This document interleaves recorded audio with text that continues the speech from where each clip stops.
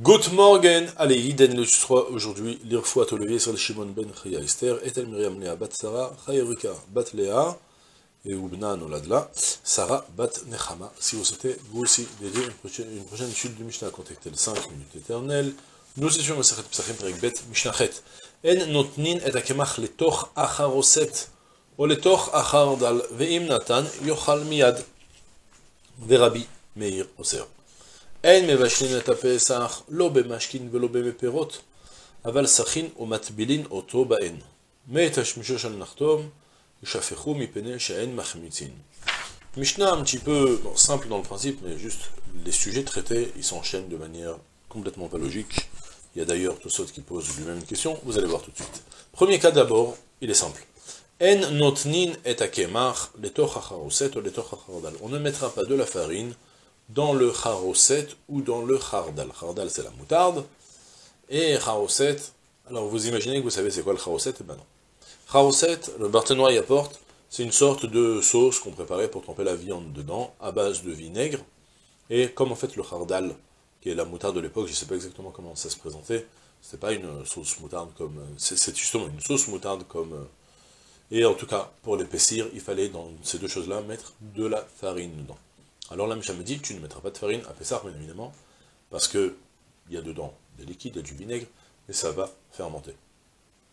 Maintenant, qu'est-ce qui se passe si toutefois, Ve'im Nathan, et s'il a quand même mis, il a oublié, il n'a pas fait attention, alors la Mishnah me dit comme ça, Yochal Miyad, il le mangera immédiatement, des Rabbi Meir Oser, et Rabbi Meir interdit de le manger immédiatement. Soit, on a une marloquette ici, entre Rabbi Meir et Tanakama, sur si toutefois on a mélangé la farine, est-ce qu'on aura le droit de le manger ou non?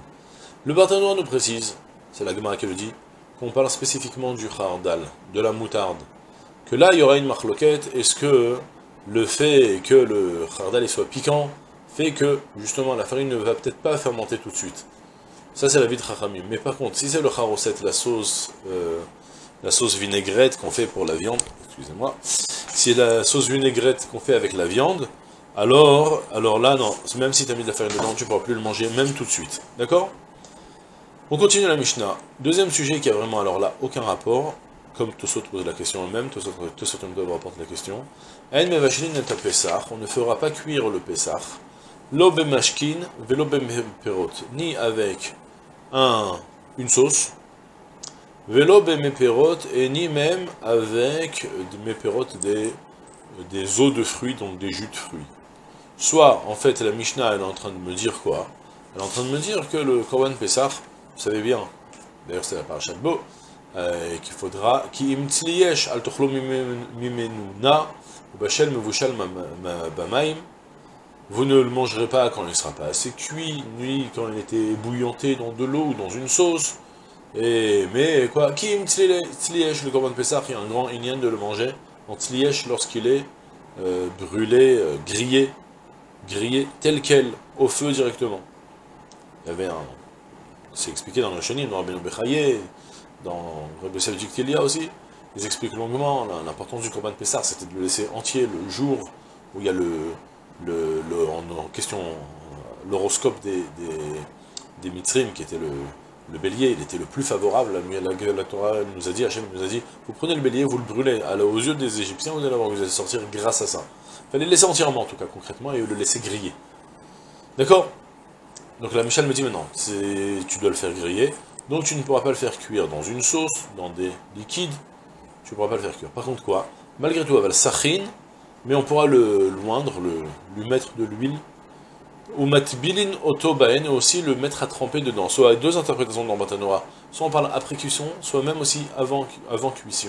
cuisson. Soit, euh, c'est vrai qu'il faut manger de la viande grillée.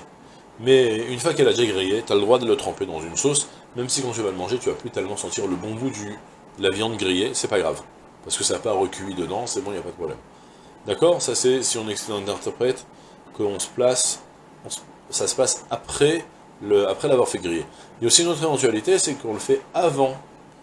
En fait, comme on pourrait faire euh, mariner de la viande à griller, on l'a fait mariner avec une sauce moutarde, ou avec, euh, après, après comme ça, quand on l'a fait cuire, quand on l'a fait griller, elle a un meilleur goût.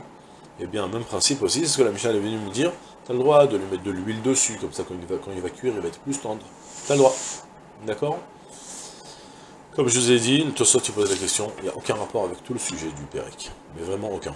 Ça aurait dû être dans quelques prakim plus loin, on aura longuement l'occasion de parler comment faire griller le Korban Pesach. Il n'y a aucune raison de dire ça ici dans cette Mishnah. C'est une question que je n'ai pas eu de réponse.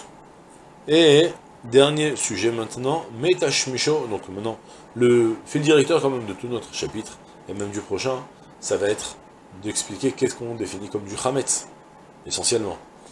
Alors la Michal me dit comme ça, l'eau qu'utilise le boulanger, soit celui qui fait les matzot, il a la pâte qui lui colle dans les mains, il a de l'eau dans laquelle il trempe ses mains pour les frotter un petit peu. Donc, il avait de la pâte un peu dans les mains, et il s'est frotté de l'eau, il s'est frotté dans les mains. La Michal me dit, attention, Ishafrou, il faudra jeter, verser très vite cette eau. Mi parce que sinon, elles vont faire fermenter le... ça va devenir du chametz. La farine qui est dans la pâte qui est dedans, elle risque de devenir chametz. Donc en fait, il faut le verser très vite, et le partenaire nous précise de le verser dans une, une, euh, un parterre qui est en pente un peu, comme ça, ça va pas stagner sur place, mais ça va tout de suite tout s'étaler, et ça va arrêter de fermenter, d'accord? C'est tout pour aujourd'hui, je suis une pleine de Kol